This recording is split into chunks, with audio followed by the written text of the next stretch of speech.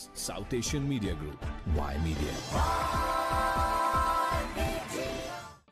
Paris 2024 Olympics में men's hockey semifinal में India को जर्मनी ने तीन दो से हरा दिया इंडिया ने इंडिया के लिए स्किपर हरमनप्रीत सिंह और सुखजीत सिंह ने गोल्स स्कोर किए जबकि जर्मनी के लिए गोंजालो पेलेट क्रिस्टोफर रूर और मार्को मिल्टकाओ ने गोल्स किए। भले ही इंडिया ने बहुत कोशिश की उन्हें हार का सामना करना पड़ा और अब वो ब्रॉन्ज मेडल मैच में स्पेन के अगेंस्ट कम्पीट करेंगे टोक्यो ओलंपिक्स की तरह सक्सेस पाने की कोशिश करते हुए। दूसरी तरफ़ जर्मनी फाइनल्स में नेदरलैंड्स का सामना करेगा। South Asian media group, Y Media.